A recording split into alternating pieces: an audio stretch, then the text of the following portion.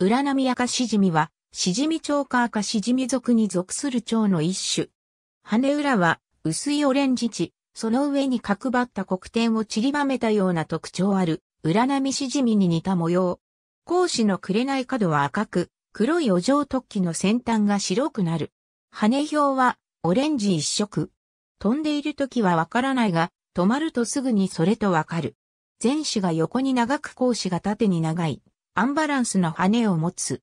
本種もゼフィルスの一員で、昼間は歯に止まって、じっとしている。成虫は初夏のみ、発生の年一か。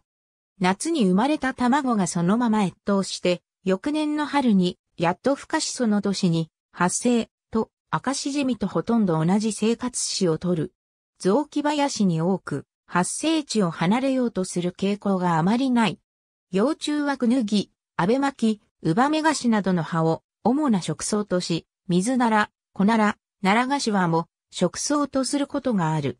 木炭を利用していた時代は、雑木林でも植林などがされており若い木が多かったため、新芽を好んで食す本種が大発生していた。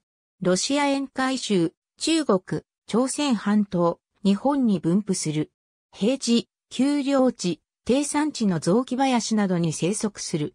日本の北海道、本州、四国北部に亜種生息するが、生息域、個体数ともに芳しくない。紀伊半島に生息するものは、小型で反問が変化していて、別の亜種とされる。中国東部には別の亜種が生息する。J、エッセイピストリアタエッセイピストリアタ以下の亜種に分類されている。日本の以下の都道府県でレッドリストの指定を受けている。開発、雑木林の減少などでこの種もめっきり少なくなった。ありがとうございます。